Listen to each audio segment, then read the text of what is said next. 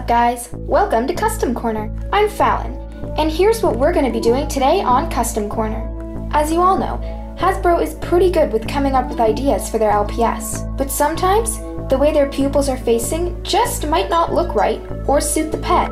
Whether they're both facing in one direction, both facing inwards, or have a crazy pupil design, not all of these styles are going to please everyone. So on today's episode, we're going to learn how to fix that. Here is a finished example of both pupils changed to be facing inwards instead of outwards. For our first tutorial, we'll use this bunny.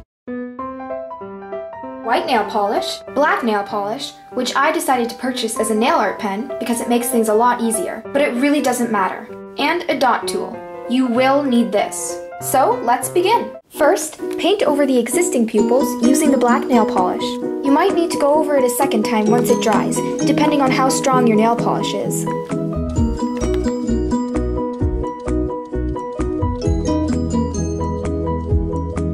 I've come for your soul. Once it's dry, take the white nail polish and paint over where you'd like the new pupils to be.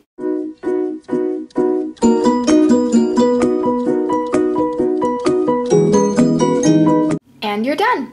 If you have any questions or are confused about anything that just happened, leave a comment down below. If you liked what you saw in the video and want to try it out for yourself, go ahead.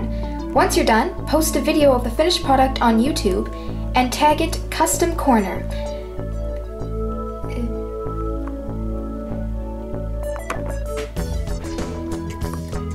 Okay, take two. If you liked what you saw in the video and want to try it out for yourself, go ahead. Once you're done, post a video of the finished product or how you did it to YouTube and tag it Custom Corner, and you'll be featured in the next episode. Or you can simply send us a picture of your customized pet on Instagram. Just tag Sandy Cossar in the photo.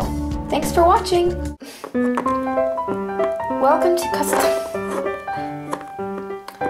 Oh, no, LPS is